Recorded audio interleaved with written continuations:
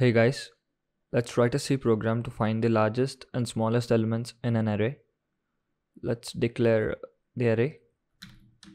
Int arr of 100 and we'll add i and n for the loops. And largest smallest to store the largest and smallest values.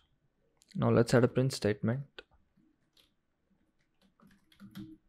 Enter the size of the array. Let's scan let's add a scanf percent d ampersand n now let's add a for loop to take the elements. For uh, i is equals to 0 i less than n. I plus plus.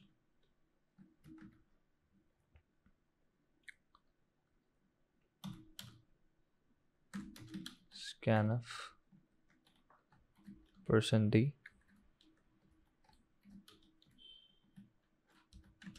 ampersand of arr i let's say let's add a print statement here. So enter the elements.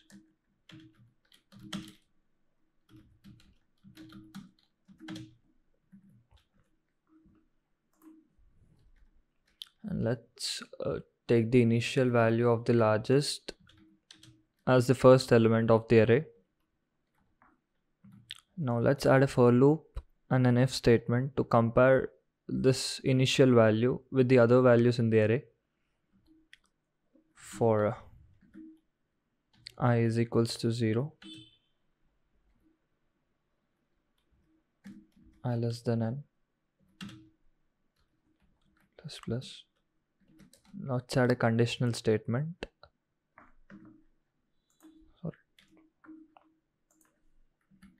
Let's add a conditional statement here. If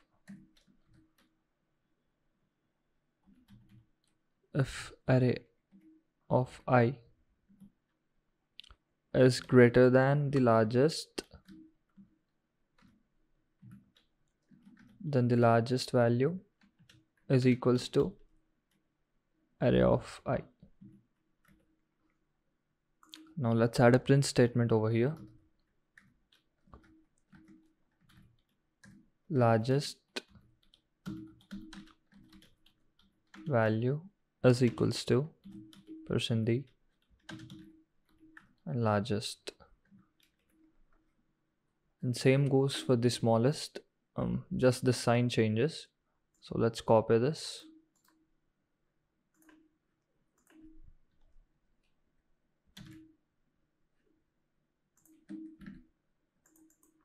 and here it is the smallest. And we are initializing the first element as the smallest. And now we are we are using a for loop and a conditional statement to compare this. We are using the less than symbol.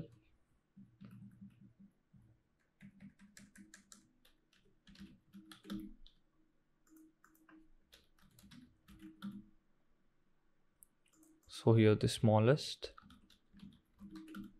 value is smallest. Hmm. Okay let's not forget to add a backslash n over here.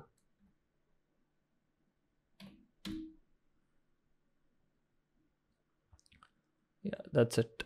Let's run this.